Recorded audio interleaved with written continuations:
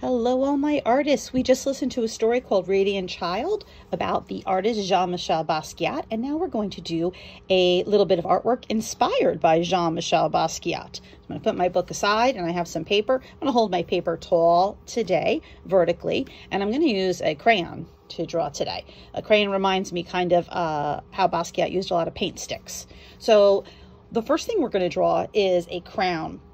Basquiat used a crown as a symbol of things, people that he thought were really important, almost heroic people.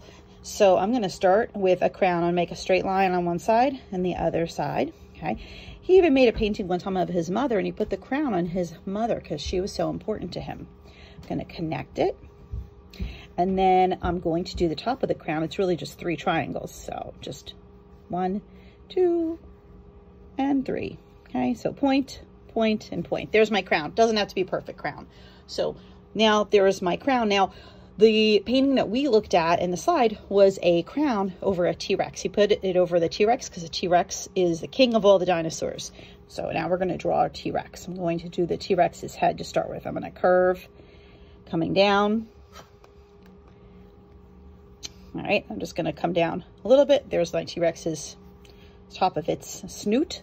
And now I'm going to come back and I'm going to do the back of my T-Rex's head, the back of the T-Rex's body, and I'm going to kind of curve out for my T-Rex's tail and just leave that there for now. Okay. So then I'm going to come back up to the top. And what I'm going to do is I'm going to make a line coming in, but not all the way. Okay. That's going to be the top of my T-Rex's mouth. And then I'm a little line down and over the bottom of my T-Rex's mouth. And I know we still have to fill something in here. That's okay. We're going to go back to that in a little while and we will fill in the details we need to make it more like a T-Rex. All right, so now we're going to come back down just a little bit.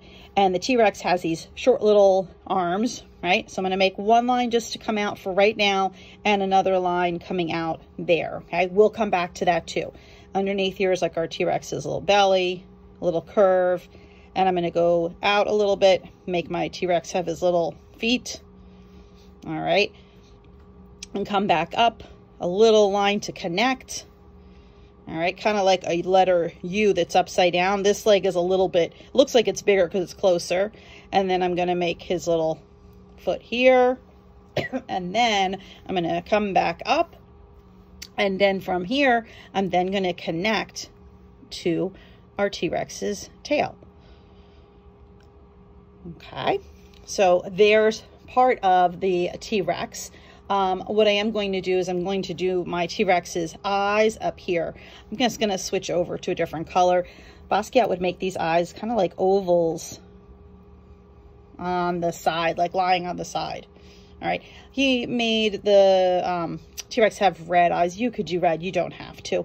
I'm going to um, fill those in later on. Okay. Then I'm going to come back. Let me see. And I'm going to do some spikes. Now I'm going to use the red. You could continue to use black. You could switch over to another color, whatever you want. So I'm just doing zigzag lines, right? Kind of like the top of the crown, right? After that, you can start to color it in and add some more details. The other details that you're going to want to add are some teeth for your T-Rex. So remember we did the zigzag up here, the points, the triangles, zigzags here, same thing here, but going down.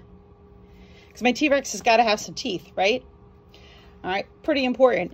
Now, his little arms, I'm going to make a little bit bigger. Okay, same thing over here. I'm going to make them a little bit bigger, and then I'm going to connect here. All right, then you can start coloring your T-Rex in, and it can be whatever color you like.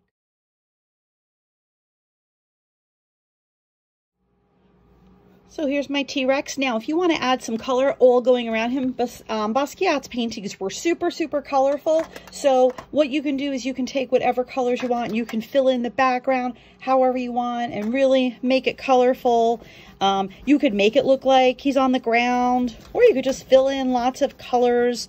Whatever you feel like doing, you can use your imagination and put your T-Rex in um, a place that you want it to be, or just fill in with lots of shapes and designs. And um, Basquiat also would include things like words and letters. So he included, you can see flags, all different things that were important to him. So if you have other things you want to add that are important to you around your T-Rex, you go right ahead. And I can't wait to see your Basquiat inspired artwork today.